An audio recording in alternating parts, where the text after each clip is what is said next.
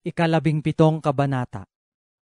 Maigi ang isang tuyong subo at may katahimikan, kaysa bahay na may laging pistahan na may kaalitan. Ang lingkod na gumagawang may kapantasan ay nagpupuno sa anak na nakahihiya, at siya'y makakabahagi sa mana ng magkakapatid. Ang dalisayan ay sa pilak at ang hurno ay sa ginto, ngunit sinusubok ng Panginoon ang mga puso. Ang manggagawa ng kasamaan ay nakikinig sa masasamang labi, at ang sinungaling ay nakikinig sa masamang dila. Sino mang tumutuya sa dukha ay dumudusta sa may lalang sa kanya, at ang natutuwa sa kasakunaan ay walang pagsalang parurusahan. Ang mga anak ng mga anak ay putong ng mga matatandang tao, at ang kaluwalhatian ng mga anak ay ang kanilang mga magulang. Ang marilag na pananalita ay hindi nagiging mabuti sa mangmang, lalo na ang magdarayang mga labi sa isang pangulo. Ang suhol ay parang mahalagang bato sa mga mata ng nagtatamo, saan man pumihit ay gumiginhawa. Ang nagtatakip ng pagsalangsang ay humahanap ng pag-ibig, ngunit ang nagdadadaldal tungkol sa anuman ay naghihiwalay ng magkakaibigang matalik. Ang saway ay nanasok na taimtim sa isang nag-uunawa kaysa isang daang hampas sa mangmang. Ang hinahanap lamang ng masamang tao ay panghihimagsik, kaya't isang mabagsik na sugo ay susuguin laban sa kanya. Masalubong ang tao ng oso na nanakawan ng kanyang mga anak, maigi kaysa mangmang sa kanyang kamangmangan. Sino mang gumaganti ng kasamaan sa mabuti, kasamaan ay hindi hihiwalay sa kanyang buhay.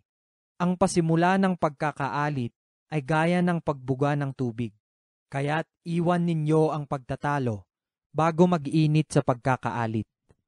Siya na umaaring ganap sa masama at siya na nagpaparusa sa matuwid, kapwa sila kasuklam-suklam sa Panginoon. Bakit mahalaga sa kamay ng mangmang upang ibili ng karunungan, gayong wala siyang pagkaunawa? Ang kaibigan ay umiibig sa lahat ng panahon, at ang kapatid ay ipinanganak na ukol sa kasakunaan.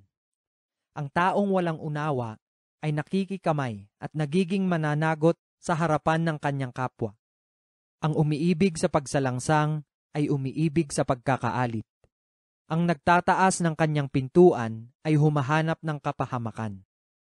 Siyang may magdarayang puso ay hindi nakakasumpong ng mabuti, at siyang may suwail na dila ay nahuhulog sa karalitaan. Ang nanganganak ng mangmang ay sa kanyang kapanglawan, at ang ama ng mangmang ay walang kagalakan. Ang masayang puso ay mabuting kagamutan, ngunit ang bagbag na diwa ay tumutuyo ng mga buto.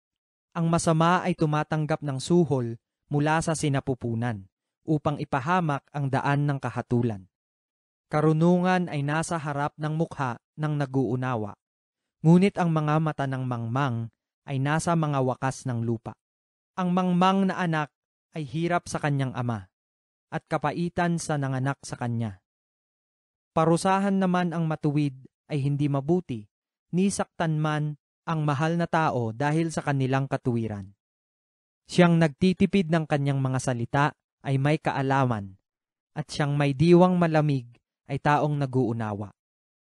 Ang mangmangman, pagka siya'y tumatahimik, ay nabibilang na pantas.